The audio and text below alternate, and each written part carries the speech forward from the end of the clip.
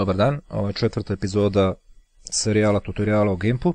Ovaj put ćemo pomenuti paterne i e, ako se sećate iz prošle epizode kad sam menjao e, boju onog automobila, sada ću da e, izmenim boju očiju ovoj devojci ovde, ali ću primeniti malo drugačiju tehniku, gde neće biti potrebno koristiti layer mask.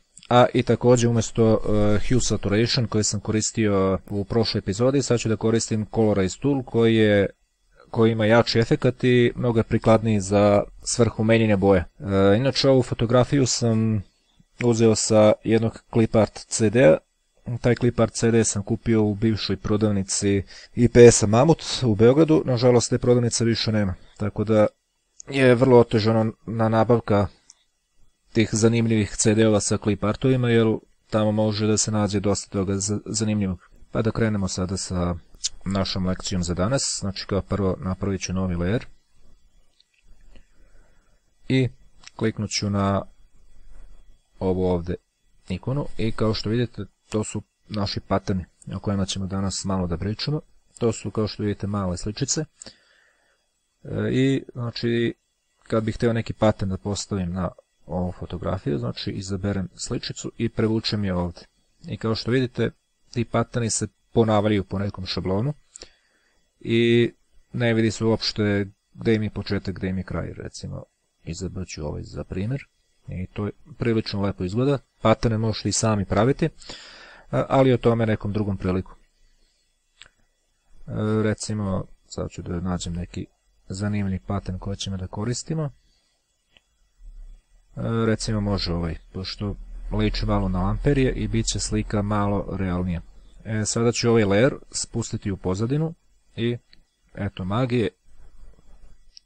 Sad slika koja ima transparenciju, znači ima pozadinski, ima znači pristojnu pozadinu i sve to lepo izgleda. Znači umjesto pattern možete staviti bilo koju fotografiju, na primjer nekog pejzaža i možete dobiti zaista dobre efekte.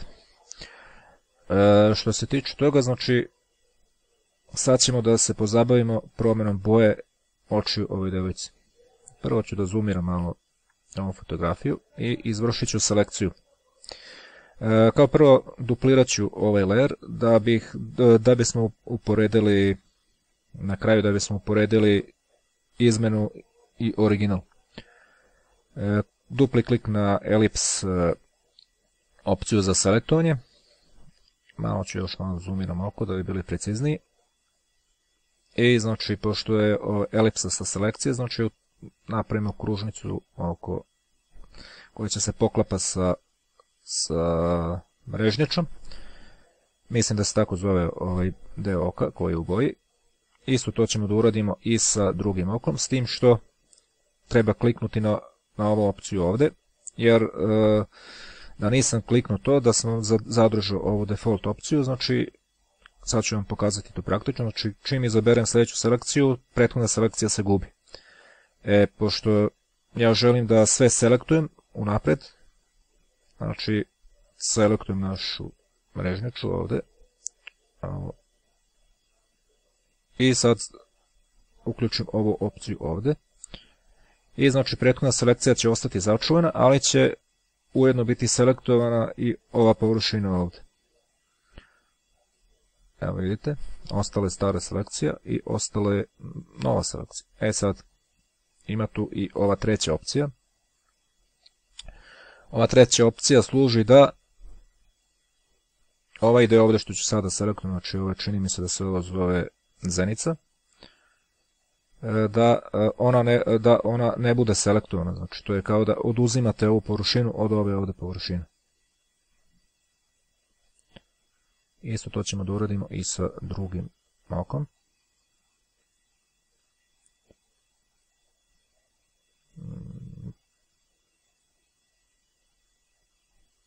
Evo recimo mislim da je ovo dobro. I sad ćemo da samo da proverim na kom se na layeru nalazimo vrlo bitno. Znači na ovom gornjem layeru. I kliknemo na Colorize alatku i kliknemo u sliku. E, znači odmah vidimo da je došlo do promene s tim što ćemo izabrati neku realističnu boju. Znači možete bilo koju od ovih boja da izaberete. Isto tako sam mogao da radim i kod automobila u prošlom, u prethodnoj epizodi. Međutim, idemo redom. Znači, imala je brown boju očiju, sad ćemo mi da stavimo nešto, neku plavu boju, recimo da deluje nešto malo realistično. Recimo, osvetljenje neka ostane kako je bilo. I saturation, počnemo da imamo da ćemo jači ili slabi efekt, evo recimo ovako neka bude. Ok. E, kliknemo na select, none, da bismo sklonili selekciju i vidjet ćemo, sad ću malo da sklonim zoom i pogledajte, ovo prilično fino izgleda. Da uporedimo sa originalnom slikom. Evo vidite, na originalnoj slici je bila brown boja, u našoj izmenjenoj slici je neka plava boja. Znači isto to sam mogao da uradim i sa automobilom prošli put, ali eto, htio sam da vam pokažem i ovaj i onaj način. Znači, ovde, kao što vidite, nema potrebe za layer maskom, jer sam odmah preko selekcije ograničio efekt toliko za ovaj put. Hvala na pažnji i doviđenja.